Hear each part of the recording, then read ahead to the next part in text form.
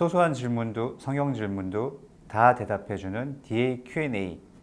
다 Q.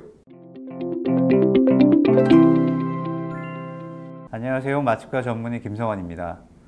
마취는 안전한 수술을 위한 첫 단계지만 환자분들이 가장 걱정을 많이 하는 것 중에 하나죠. 그래서 준비한 DA Q&A 마취과 편.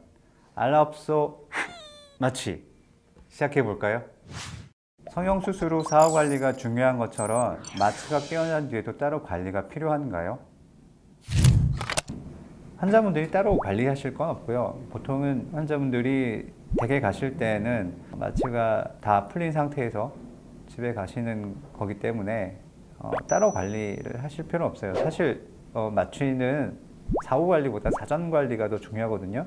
아무래도 마취를 진행하다 보면은 호흡기계 억제가 많이 나타나고 그리고 가래도 많이 나올 수 있고 평소보다. 굉장히 위험한 경우 가 생기는 경우도 있는데 대개는 호흡기계 관련해서 위험한 경우가 생기거든요. 그래서 제일 중요한 거는 담배를 피시는 분들은 금연을 하고 오시는 게 제일 좋습니다.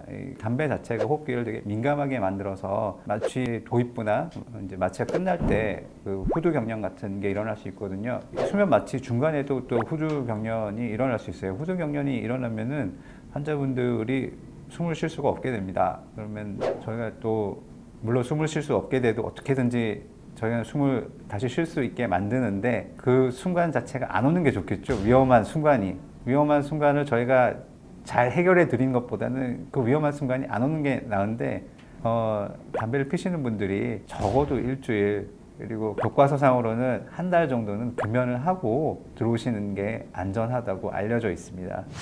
원활한 마취를 위해서는 어, 뭐 금연뿐 아니라 금주도 필요할 것 같고요. 그리고 본인 건강을 본인 스스로 잘 챙기셔서 건강한 상태에서 마취를 받는 게 마취 부작용을 최소한으로 줄일 수가 있습니다. 건강 관리 잘 하고 오십시오.